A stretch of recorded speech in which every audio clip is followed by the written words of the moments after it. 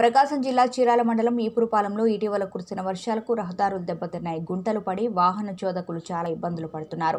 ఇబ్బందులను స్వయంగా చూసిన ఎస్ఐ సుబ్బారావు స్పందించారు. తమ స్టేషన్ సిబ్బందితో పాటు పంచాయతీ సిబ్బందిని పురమాయించి మరమ్మతులు చేయించారు. జిల్లా ఎస్పీ మల్లికా గారికి ఆదేశాల మేరకు ప్రతి శనివారం నో యాక్సిడెంట్ డే పాటిస్తున్నట్లు చెప్పారు. ఈ కార్యక్రమంలో హెడ్ కానిస్టేబుల్ రామకోటేశ్వరరావు ఉన్నారు. ఎస్పీ మేడం గారు నో యాక్సిడెంట్ ఆన్ సాటర్డే అని చెప్పనేసి ఒక ప్రోగ్రామ్ స్టార్ట్ చేయడం జరిగింది.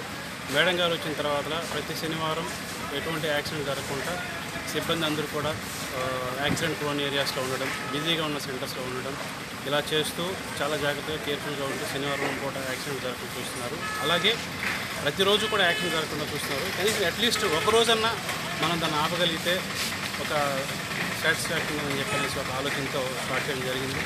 ఆ ప్రోగ్రామ్ చాలా మంచిగా సాగుతుంది అయితే ఈ మధ్య వర్షాలు బాగా పడడంతో ఈపురపాలెంలో ఆ వర్షాలకి గుంతలు ఏర్పడి వచ్చిపోయే ప్రయాణికులు బాగా ఇబ్బంది పడడం ఈ బైకుల మీద వస్తున్న వాళ్ళు ఈ ఏర్పడిన గుంతల్లో పడిపోవడం జరుగుతూ ఉంది.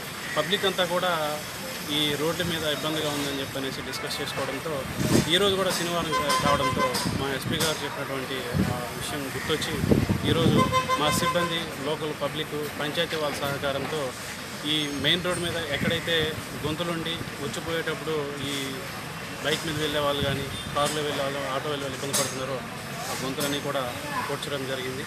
దీనికి సహకరించినటువంటి ఇటు పంచాయతీ వాళ్ళు లోకల్ ఈ ప్రెషర్ మిషన్ వాళ్ళు అందరూ కూడా ధన్యవాదాలు. తెలియ